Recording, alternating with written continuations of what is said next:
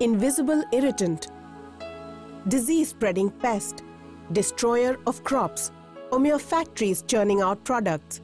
Is that all insects are? Train your lenses on these creatures and you will find an astounding other world. A world where events unfold in a fraction of a second, where razor-sharp decisions are made in record time, where secret languages convey information without words, and superhuman mechanics reach unimaginable speeds. What happens in the unique world of insects?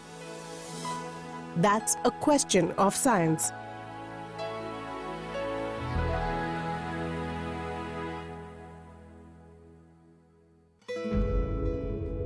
Four hundred million years ago, nearly 350 million years before any vertebrate animal walked the earth. The first insects emerged onto dry land. Through the ravages of time and massive upheavals in climate and geology, they endured. But they didn't just survive, they thrived.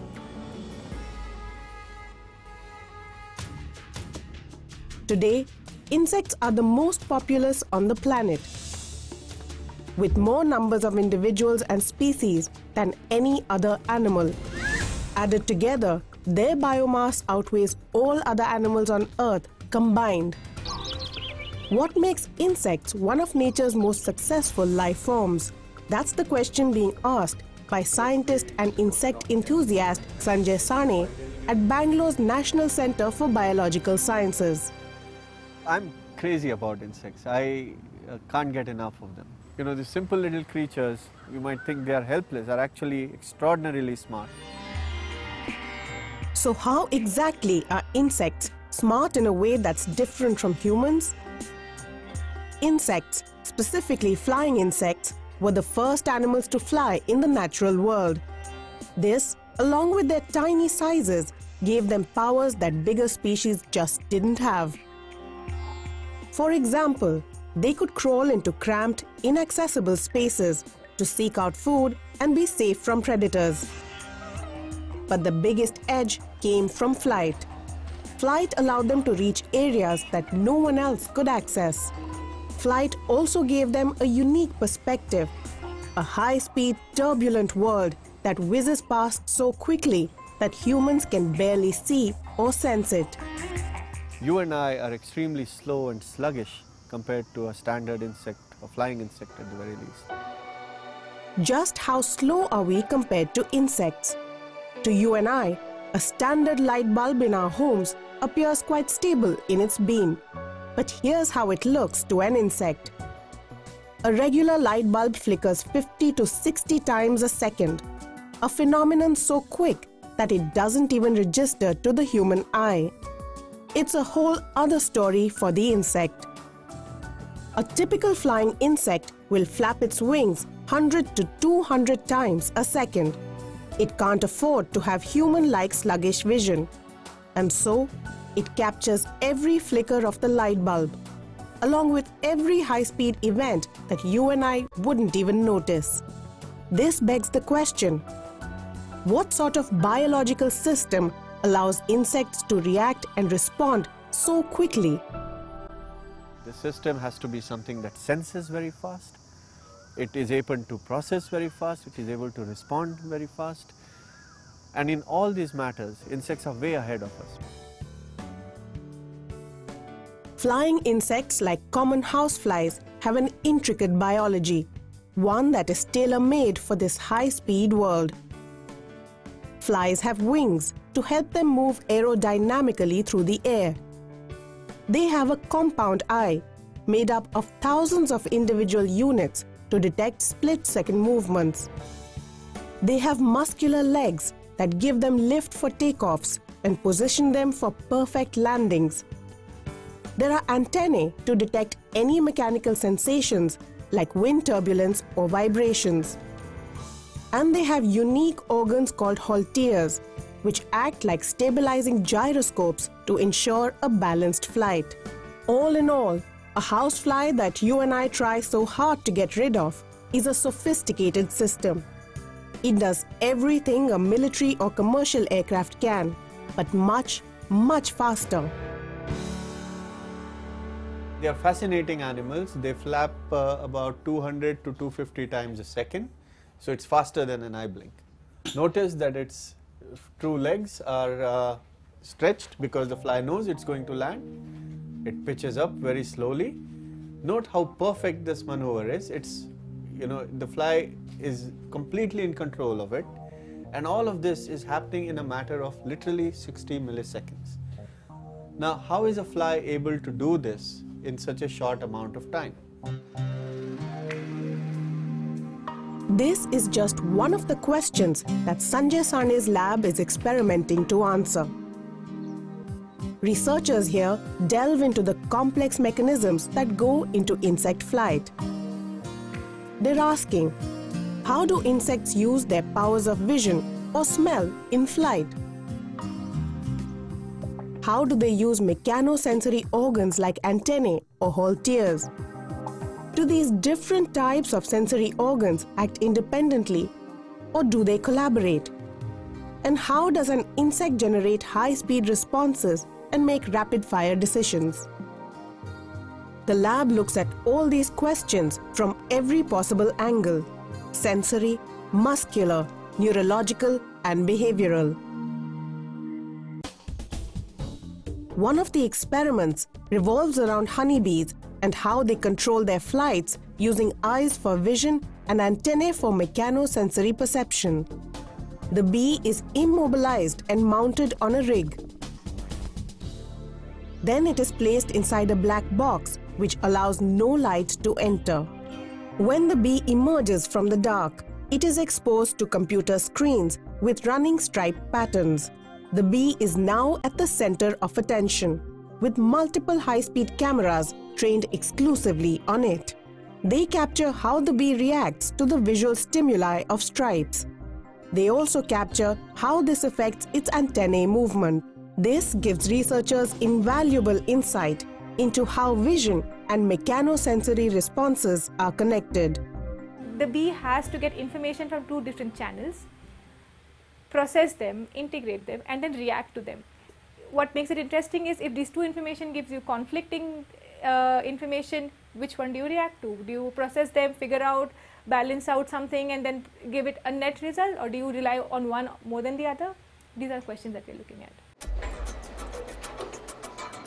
Not too far from here, another experiment gives the same question a different twist. This time, researchers are studying the relationship between an insect's vision and powers of smell. The housefly is given a serious challenge to locate its food source by following a tempting smell, all while navigating a visual landmark presented by a black sphere. Have the fly, you know, moving and then the trace follows it. If you uh, put the landmark around your resource, then only it causes fly to pass cast extra. The experiment asks, what will the fly depend on more to control its flight? Vision, odor, or both?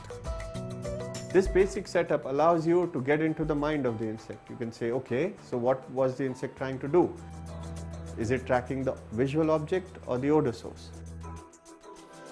In the experiment, an odor source, typically a food item like fruit juice, is positioned inside a wind tunnel. As a distraction, a black landmark is placed some distance away from it. The insect pursues the food odor, but then it encounters the black landmark. So what is surprising is that uh, fly is keeping track of landmarks, but the landmarks are actually making the search uh, slower. Researchers observe how this affects the fly's original search. They track it using high-speed cameras and collate the data digitally. In retracing the fly's flight path, a lot can be learned. Only OV, odor OV zero Yeah. So if, if you turn it like this, uh, turn it the other way. Huh. So this, this, you know, this search thing happens below this odor. Okay, but when then it goes in front of the object. We have quantified uh, is that fly tend to search more uh, before making a, that same decision of landing on the odor source. So the final outcome is same, but the approach it's before that is completely modified because of the surroundings. These behavioral experiments show that insects are capable of making complex decisions extremely quickly. So the next logical inquiry is, how is this decision making happening at a neural level? Researchers want to understand how insect neurons process two types of information, visual and mechanical, to ensure smooth flight control. Neurosurgery is tough enough in us humans. Imagine carrying out the same in small insects. The insect chosen for this operation is the oleander hawk moth. Its size enables scientists to reach into its ventral nerve cord and record its activity with an electrode. I'll be uh, recording from within one particular neuron uh, using a very fine electrode and trying to see how these two informations are encoded by the neuron. Such neurological tests are conducted to discover which neuron corresponds to which sensory perception, be it vision, mechanical stability, or motor control. The results once more reinforce just how intelligent insects are. And do you find any neurons? Yeah, so we found several neurons which uh, respond just to mechanical stimulus, just to visual stimulus, and few which respond to both of them. Mapping the nervous system of insects can give us precious clues into what enables insects to fly. For India, these types of inquiries have been long overdue. In the early days post-independence, a lot of attention was paid to entomology or insect studies as part of agricultural research. But for a nation grappling with food shortages, insects were only interesting as crop destroying pests. Unfortunately, these entomologists were taught how to kill insects, not how to study them. From the perspective of studying the other aspects of insects like flight or chemical ecology or all of these different things, uh, there is unfortunately not much of a tradition. Now, there's a fresh swarm of Indian entomologists dedicated to unearthing the fascinating world of insects. They're coming from disciplines like neuroscience, physiology, physics, and even aerospace engineering to understand how these complex creatures behave. From training insects to fly directly into lab setups, to breeding insects and operating high-end digital rigs.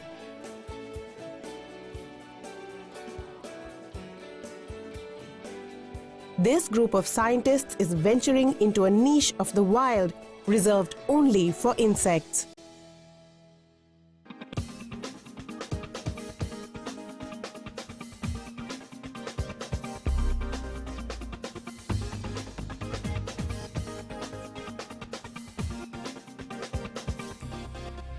The idea is to see how a female moth can track its host plant in wild. And that is the reason we are doing this experiment in a, in a cage outside the lab so that we can provide it a semi environment. To a female moth, when it is in, in, the, in, a, in a forest, there are tons of plants around and it is extremely difficult to, uh, to identify its host plant and lay eggs only on the, on the host plant. So this behavior is what we are very interested in. Closely linked to flight behaviors of insects is one of the most fascinating questions in entomology. How do insects communicate? The answer is different for different insects. In 1973, Austrian scientist Karl von Frisch won the Nobel Prize for cracking the secret language of bees. He revealed that honeybees communicated using a dance called the waggle dance. This dance told other bees about the location of food. The speed of the waggle of the bee's posterior showed how far the food was. The axis or orientation of this waggle movement indicated which direction the food source was in relative to the sun. But you might start thinking that there are problems here. Why? Because the sun is not in the same place all the time. So the bees need to be able to compensate for the fact that the sun moves in the sky, and they can.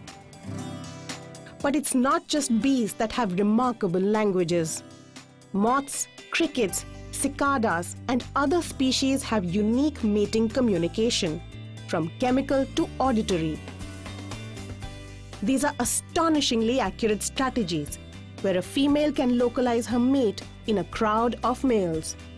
Even ants have an extremely sophisticated communication system. Ants will communicate to each other using chemical means. It will lay a chemical on the ground and that chemical can have many different uh, connotations. It may be a repulsive chemical, it could be a attractive chemical.